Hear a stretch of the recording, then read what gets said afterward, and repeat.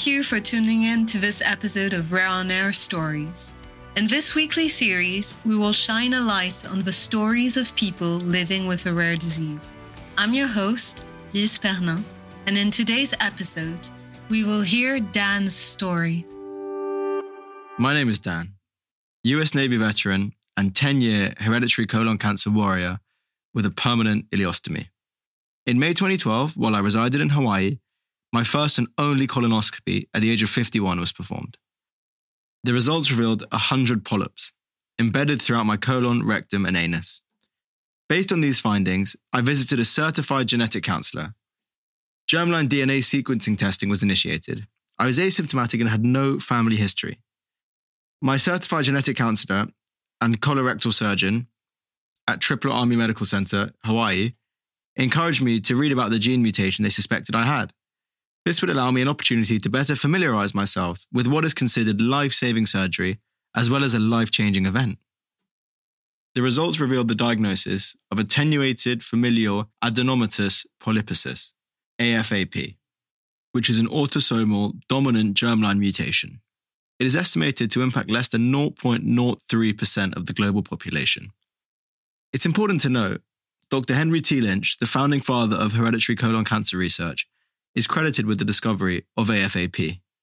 My certified genetic counselor and colorectal surgeon were colleagues of Dr. Lynch. Based on these findings, it was in his best practice of medicine to have total proctocolectomy surgery with a permanent ileostomy. Surgery was successful, performed at an Army Medical Center in the days following the diagnosis.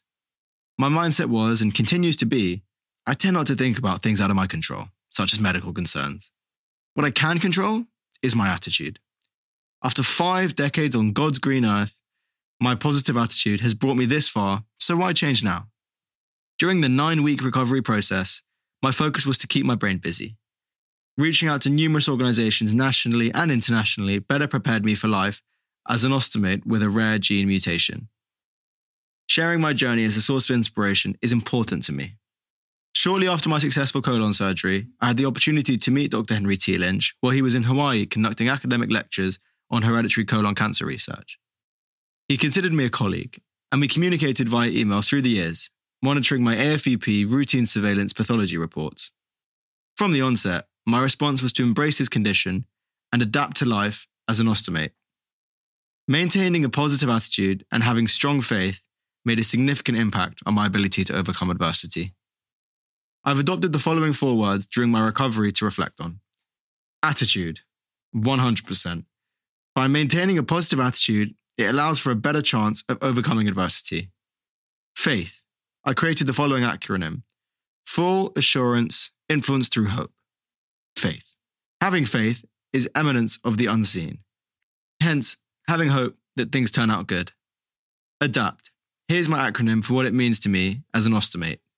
Attitude determines the ability for a positive transformation. And then finally, purpose. My purpose is being an AFAP live case presentation and to educate the medical students and professionals, continuing the legacy of Dr. Henry T. Lynch on the importance of early detection in the hope of saving lives. I'm a global hereditary colon cancer live case presenter. Recently, I was invited to be a member of the University of Michigan Hereditary Genetic Testing Advisory Board. I'm an annual live case presentation for the University of Texas Health Center, San Antonio, Texas, Genetics in GI Malignancy Multidisciplinary Conference. Recently, I underwent successful pancreas sparing duodenectomy resection surgery at Stanford University Hospital.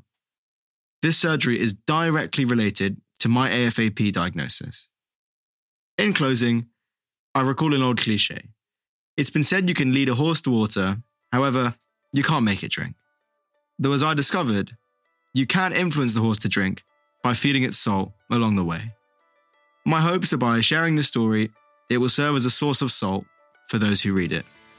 Always forge ahead with a purpose.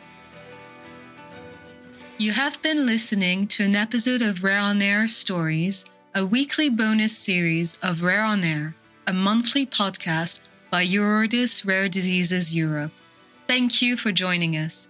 Until next time, you can listen to one of our weekly episodes that are published throughout the Rare Disease Day campaign. If you would like us to feature your story in this podcast and on our social media channels, don't hesitate to submit it on our website. Make sure to subscribe.